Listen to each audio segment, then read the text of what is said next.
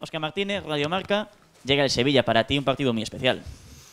Eh, sí, porque es mi ex equipo, eh, donde he pasado pues bueno, eh, mis mejores años como, como, futbolista profesional.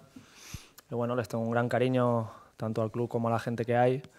Bueno, pero como siempre se dice, el domingo al final, bueno, el sábado en este caso, es un partido más. intentaremos ganar, hacerlo todo por, por, el equipo.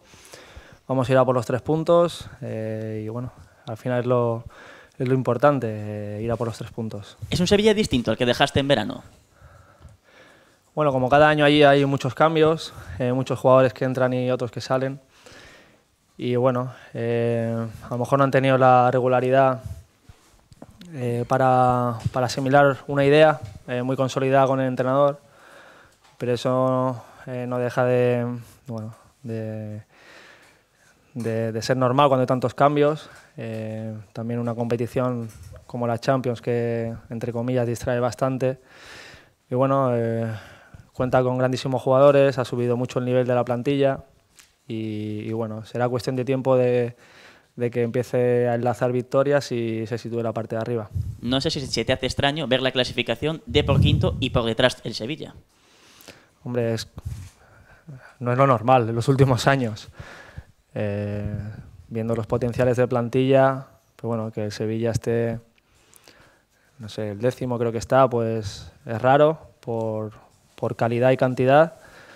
Pero bueno, al final la competición es la que es, eh, no engaña y, bueno, eh, ellos tienen todo para seguir para arriba y por nuestra parte, pues bueno, mantener esta dinámica, esta ilusión que hemos creado entre todos bueno, contra más partidos ganemos y, y mejor estemos, pues bueno, conseguiremos el objetivo de salvarnos eh, antes. Luis de la Cruz, Diario As, eh, a pesar de, de, todo lo que, bueno, de lo que estabas comentando, donde está el Sevilla sorprendentemente y demás, es un equipo que tiene armas suficientes como para, como suele decirse, ponerse tiesos, ¿no? Sí, ya lo he dicho, cuenta tanto en cantidad como calidad muchos recursos aparte de, pues bueno, un entrenador que sabe sacarle rendimiento a, todos sus jugadores. Y bueno, eh, a mí personalmente me parece que va a ser cuestión de tiempo de que no, de que no esté arriba. Y bueno, en, esperemos que a partir de, del siguiente partido no este, pues bueno, empiezan a, a, encadenar victorias y que se vea ese Sevilla que, que, bueno, que está acostumbrado últimamente pues a ganar. ¿Y nos puedes dar las pinceladas del informe que le has pasado a Víctor? pues la verdad que, que, ni, me ha preguntado. Eh, tenemos una suerte, bueno, hoy en día todos los entrenadores, pero especialmente pues Víctor y su cuerpo técnico, pues esa faceta la tienen muy bien cubierta. Eh, hacen un trabajo de, análisis y scouting muy bueno y bueno, seguro que, sabe dónde, dónde podemos hacerle daño y, dónde, y dónde nos pueden hacer.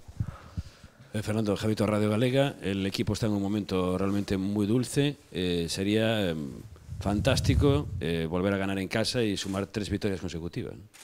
Hombre, sería un paso impresionante eh, poder conseguir los tres puntos ante un gran rival en, casa. Pues bueno, todo lo que se pueda decir que te trae la victoria es poco. Sería un salto de calidad de nuevo en la clasificación eh, tres puntos menos para el objetivo. Y bueno, eh, a eso vamos a ir, vamos a ir a, intentar conseguir los tres puntos con nuestras armas, eh, sabiendo que delante tenemos un gran equipo y bueno, estamos en, una posición que, bueno, que todos hubiéramos firmado antes de, empezar la temporada y bueno, hay que aprovechar, como digo yo, la, la ola, no bajarse y dar todo por conseguir los tres puntos. Vale, chicos. Muy bien.